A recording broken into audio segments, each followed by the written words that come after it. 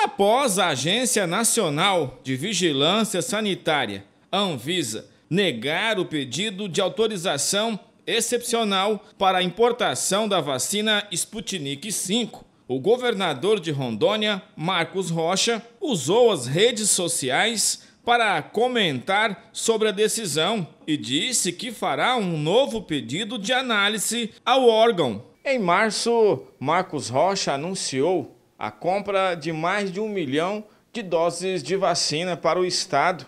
Na época, o governador disse que o objetivo era imunizar os maiores de 18 anos ainda no primeiro semestre de 2021. A vacina Sputnik V, desenvolvida pelo Instituto Russo de Pesquisa para a Covid-19, teve eficácia de 91,6% contra a doença, segundo resultados preliminares publicados em uma revista científica, uma das mais respeitadas do mundo. A eficácia contra casos moderados e graves da doença foi de 100%.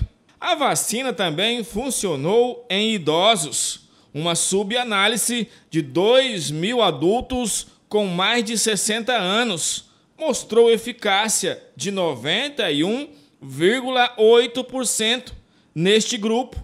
Ela também foi bem tolerada nessa faixa etária. Na última segunda-feira, dia 26, a Anvisa apontou que não recebeu relatório técnico capaz de comprovar que a vacina atende a padrões de qualidade e não conseguiu localizar o relatório com autoridades de países onde a vacina é aplicada.